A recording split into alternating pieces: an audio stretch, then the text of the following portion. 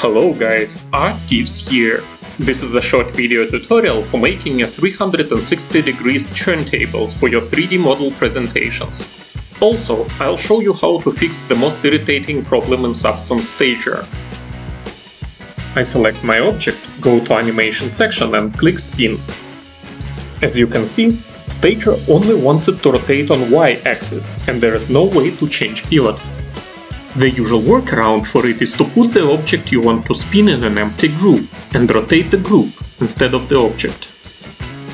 This doesn't solve my problem, however, because I want to place my pivot point to the center of the flower's bottom and not to the center of mass or some other point. The solution is quite simple. I create a dummy sphere centered to 000 scene coordinates. I link my model to the sphere and import it to Substance Stager. Then I simply spin the sphere. If the same pivot problem happens to my sphere, I remove the link, rotate the sphere, and relink my flower to dummy.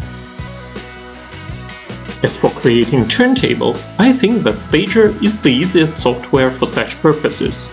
You create a new scene, import your model, activate the spin button, plug in some textures and set the color of your background.